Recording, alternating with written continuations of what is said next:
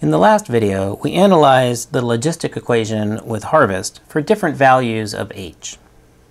The fruits of our labor was a bunch of um, phase lines. So we looked at different h's. Here's h0, 40, 65, and for each one we used this graph to make a, a phase line.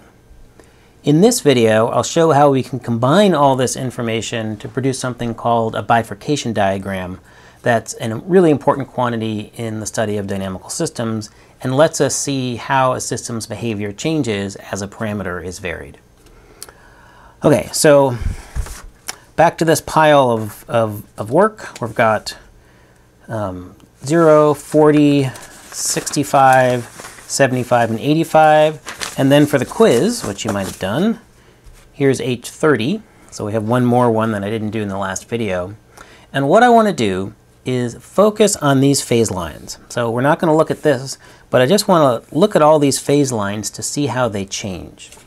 So in order to do that, I'm going to um, cut the phase line off of each of these diagrams. So I'll do that. Okay, so I did that for h equals 30. And then I'll do that for the rest of them.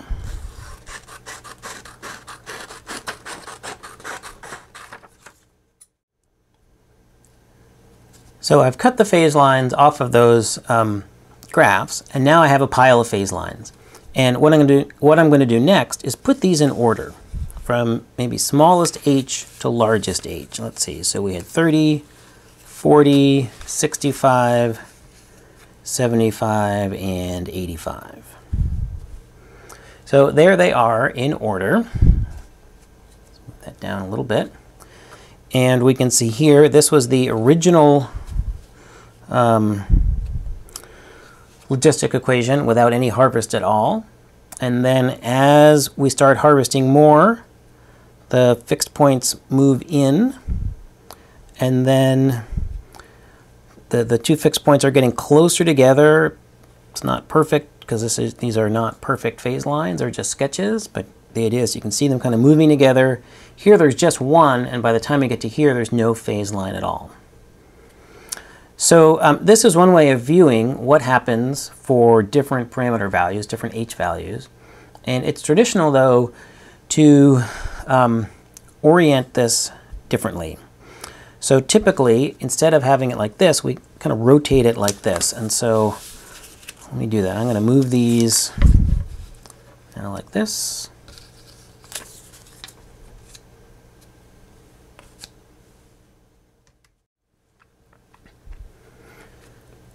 Okay, so I've organized all of the phase lines from left to right. So H now is running horizontally left to right. This is H going in this direction. So I'm increasing h, start at 0, 30, 40, 65. The two fixed points get closer together. They merge into one at 75 and disappear by the time I'm over here. And then on this axis, I can think of this, I'm plotting x. My, this is my phase line, and the phase line is x, or I'm calling it x now. Maybe I should have called no, p. I'll call it p for population.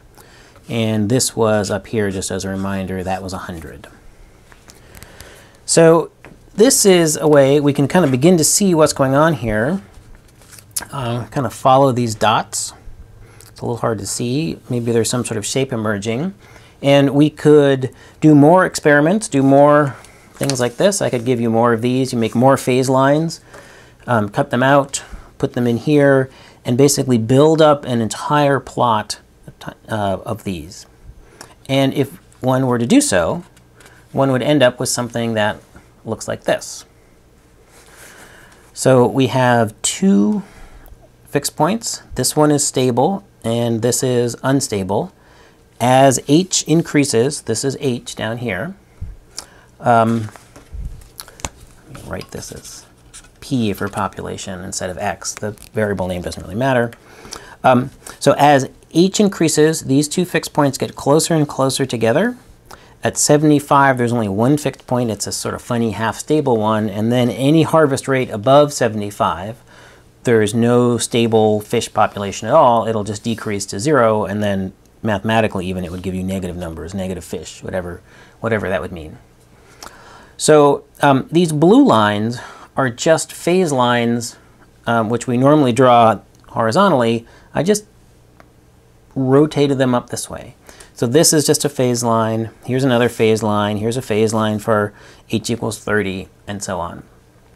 So this type of diagram is known as a bifurcation diagram. It shows us how the um, sort of long-term behavior of a system changes as we change a parameter. So the parameter that we're changing is h. We can imagine increasing h, slowly increasing the amount of fishing. And the long-term behavior, that's this light blue curve here. So the long-term behavior here is we have two fixed points. This is unstable and that's stable we increase the amount of fishing from zero, and we maybe, I don't know, we go to here. And it's really, it's the same story. It, there's still two fixed points. One of them is stable, and one is unstable. The value of the fixed point has changed a little bit, but that's just a small quantitative change. It's not an overall qualitative change in the feature of the system. We continue to increase the rate of fishing. When we're here, again, we have a stable fixed point here. Arrows are pushing towards it. And an unstable fixed point here by my thumb. So yes, the values of the fixed points have changed, but that's not, um, doesn't change the overall character of the equation. There's still one stable and one unstable fixed point. And we keep increasing the uh, value of h, we increase the amount of fishing, and here we have a qualitative change. So you'll say this point here is a bifurcation. Right at this point, we're changing from two fixed points, one one stable, one unstable, to no fixed points. So this point here would be where the bifurcation occurs. It's a sudden change in the qualitative, sort of overall global features of the system as a parameter is changed. So as we vary h from one side of 75 to another, the uh, system jumps from having two fixed points of different stabilities to zero fixed points. So this is an example of a bifurcation and this type of diagram is known as a bifurcation diagram.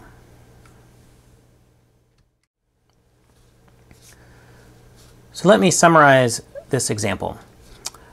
The type of graph we ended up with is a bifurcation diagram where we're plotting the phase lines for the population as a function of h, the parameter.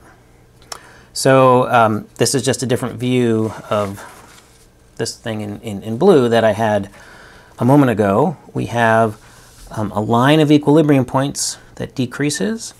There's their stable equilibrium. Then we have an unstable equilibrium. This is an attractor. This is a repeller. And they disappear suddenly right here. So this is where the bifurcation would occur. So again, a bifurcation is a sudden qualitative change in a dynamical system as a parameter is varied continuously. What I mean by sudden qualitative change, a qualitative change is not the location of a fixed point, but a change in the number of fixed points and or their stability. So that's a sudden qualitative change in the overall character, the global behavior of the system. And this change happens all of a sudden. We go from 2 on one side of the transition to 0 on the other. And so um, what I mean by varied continuous, continuously is that we get a jump in the qualitative behavior, the number of fixed points and their stability, without having to jump the um, parameter. So a very small change from one side of this transition to the other gives rise to this sudden qualitative change. In the next several videos, I'll say more about bifurcation diagrams and why they're important and what lessons I think this general phenomena of bifurcations holds for the study of complex systems.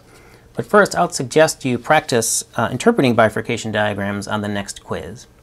So um, when in doubt with a bifurcation diagram, remember that it began its life as a series of phase lines. And phase lines you're familiar with by now from the beginning of this unit and, and from Unit 2. So for example, I can use this bifurcation diagram to look up, say, what the behavior is for this dynamical system for this particular h value.